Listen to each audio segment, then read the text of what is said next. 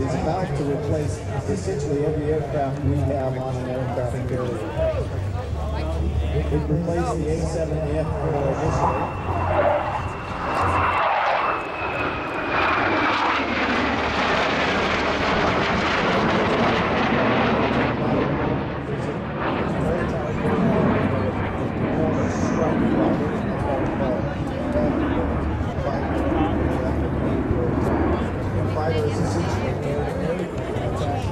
So it has this multi-role capability.